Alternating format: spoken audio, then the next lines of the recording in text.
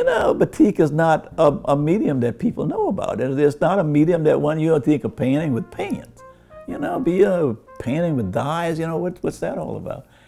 And uh, they did a book at the, at the Greenville Museum uh, on, uh, on uh, three decades, I think, of American art.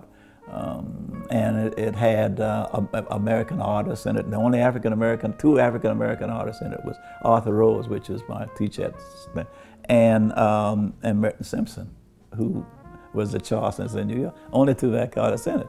And I was doing batiks at the time, and you know, had to show many places and all of that.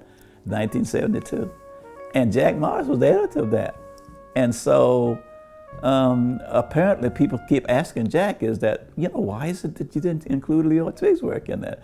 Well, you, I didn't ask him, you know, because they selected, I don't have anything to do with that. So I suspect it peeved me. He said, you know, Leo, your work wasn't in the show because you work with wax and dyes on fabric, and that's a craft. And we didn't include any crafts in the show. We include printmakers and painters and sculptors and, and we only the fine arts, we didn't include any crafts, no ceramics and things like that. I said, oh, okay. I said, you have to explain it to me. The next week, instructor came out with my painting on the cover.